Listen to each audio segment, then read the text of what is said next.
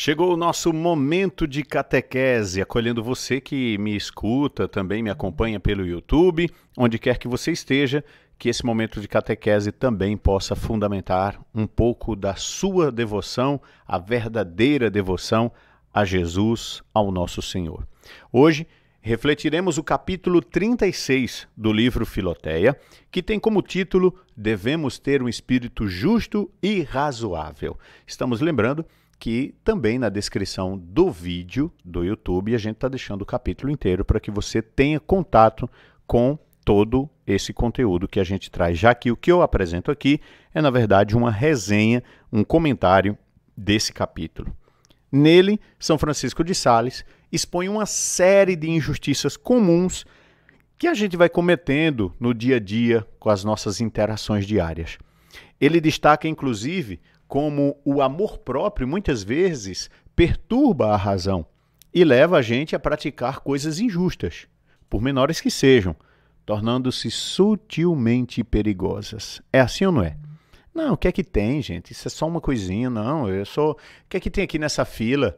É, eu vou passar, ninguém viu, vou entrar aqui, tem um amigo meu, eu vou entrar do lado. Ah, eu estou dirigindo o carro, o que é que tem? Tá tudo congestionado, eu pegar um pouquinho o acostamento e passar na frente de todo mundo e lá na frente eu me dar bem, eu sair melhor, porque eu estou apressado, eu mereço. A gente começa a ter as justificativas, né?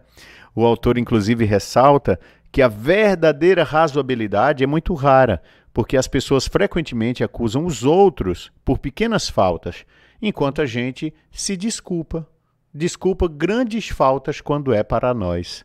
Além disso, ele aborda o viés das transações comerciais, preferências baseadas na aparência externa e até a inclinação de defender rigorosamente os próprios direitos enquanto a gente espera condescendência com os direitos alheios.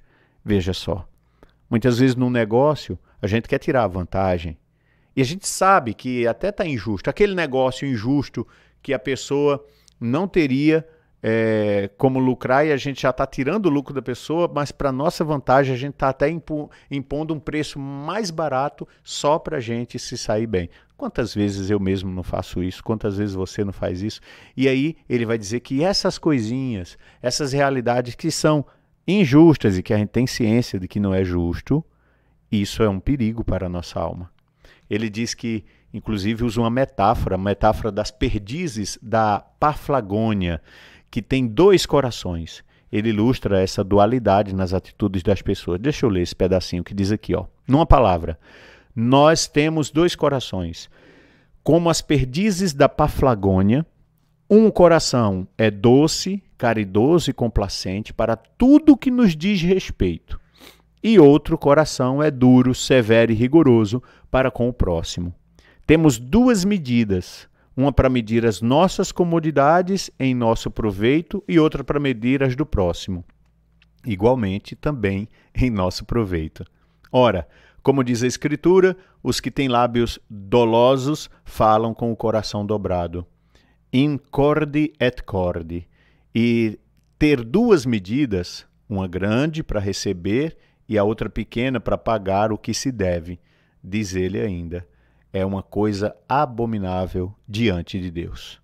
Olha, essa é uma abordagem suave e complacente para consigo mesmos e uma atitude dura e rigorosa em relação aos outros, que São Francisco de Sales coloca em evidência, que geralmente está na nossa vida.